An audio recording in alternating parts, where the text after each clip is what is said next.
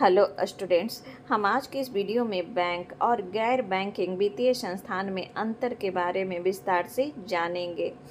लेकिन आगे बढ़ने से पहले हम लोग कुछ बेसिक बातों को जान लेते हैं।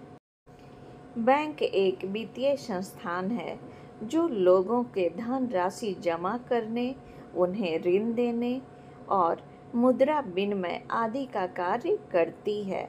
अर्थात यह विभिन्न प्रकार के वित्तीय सेवाएँ प्रदान करने वाली एक महत्वपूर्ण संस्थान है।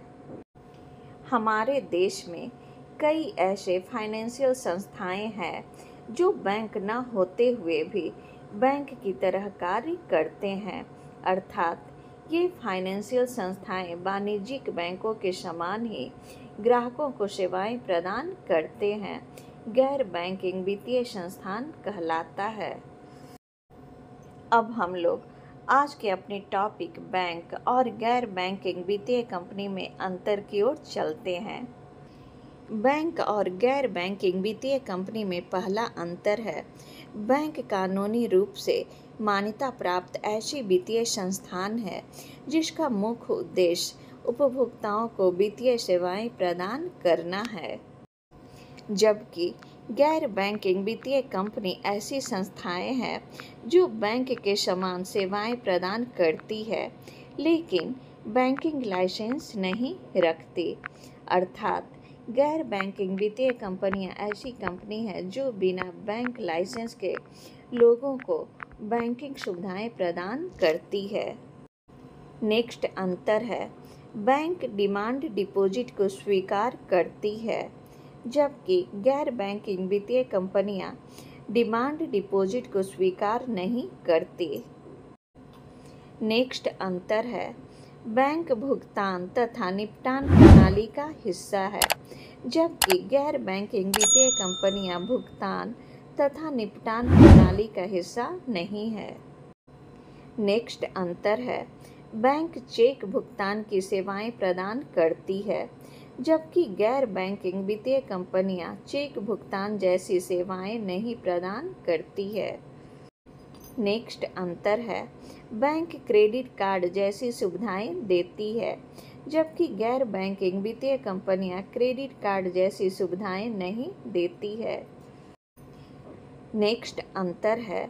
बैंक क्रेडिट बनाती है, जबकि गैर बैंकिंग वित्तीय कंपनियाँ क्रेडिट नहीं बनाती है।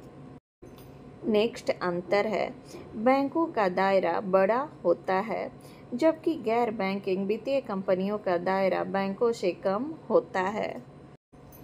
नेक्स्ट अंतर है, बैंकों को अनिवार्य रूप से सी आर आर और एस एल आर जैसे अनुपात रखना पड़ता है, जबकि गैर बैंकिंग वित्तीय कंपनियों को सी आर आर और एस एल आर रखने की आवश्यकता नहीं होती है। नेक्स्ट अंतर है। बैंक जमा लेते हैं और उधार देते हैं, जबकि गैर बैंकिंग वित्तीय कंपनियाँ जमा नहीं लेते और पैसा उधार भी नहीं देते। नेक्स्ट अंतर है, बैंकों के पास स्वयं चेक निकालने की क्षमता होती है, अर्थात बैंक चेक भुगतान की सेवाएँ भी प्रदान करता है। जबकि गैर बैंकिंग वित्तीय संस्थाएँ अपने स्वयं के चेक लिखने में असमर्थ है। अर्थात, गैर बैंकिंग वित्तीय संस्थाएँ चेक भुगतान की सेवाएँ नहीं प्रदान करती है। नेक्स्ट अंतर है, बैंक अपने कुछ स्कीम के तहत जमा धन पर ग्राहक को बीमा देता है, जबकि गैर बैंकिंग वित्तीय संस्थाएँ किसी भी प्रकार की कोई भी बीमा नहीं देता है। नेक्स्ट अंतर है। बैंक का संचालन कंपनी एक्ट उन्नीस सौ उनचास के तहत होता है, जबकि गैर बैंकिंग वित्तीय संस्थाओं का संचालन कंपनी एक्ट उन्नीस सौ छप्पन के तहत किया गया है। इसी के साथ मेरा आज का वीडियो समाप्त होता है। हम लोग फिर मिलेंगे नए वीडियो में। तब तक के लिए नमस्कार।